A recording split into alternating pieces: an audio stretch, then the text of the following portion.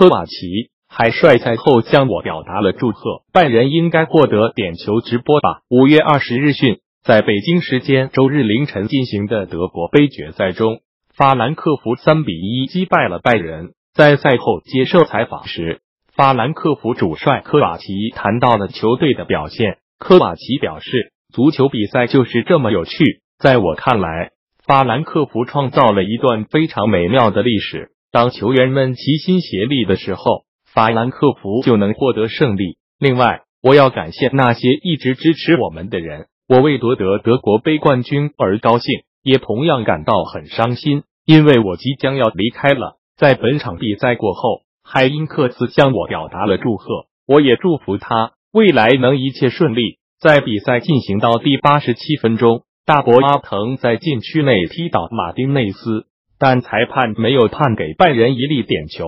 对此，法兰克福主帅科瓦奇表示，大伯阿滕想把球解围，但他踢倒了马丁内斯。不过，我觉得那确实是粒点球。v o m a r i o。